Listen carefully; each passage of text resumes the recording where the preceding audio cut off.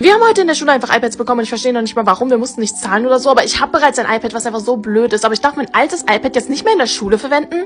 Also bitte, was ist bitte schon der Sinn bei diesen iPads? Auf jeden Fall ist das, glaube ich, die normale Version und ich persönlich habe ein iPad Air hier nochmal zum Vergleich. Und es ist halt auch so, dass alles kontrolliert wird, was wir auf dem Schul-iPad machen. Also wir können da keine Spiele spielen oder so, beziehungsweise auch gar keine Apps runterladen. Dazu haben wir auch noch eine Hülle bekommen, was ich auch sehr cool fand, dass wir das nicht bezahlen mussten. Wir mussten gar nichts bezahlen. Die verlangen nur von uns, dass wir einen Stift kaufen und den sollen wir dann irgendwie doch bezahlen. Also, will mir mal vielleicht jemand erklären, was der Sinn ist? Vor allem, ich hatte einfach schon ein iPad und ich würde das gerne weiter benutzen. Darf ich aber nicht.